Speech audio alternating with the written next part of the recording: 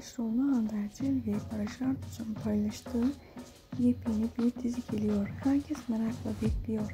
Netflix dizisi olan bu film herkes tarafından merakla beklenen bir dizi oldu. Ve son çekimleri tamamlandı.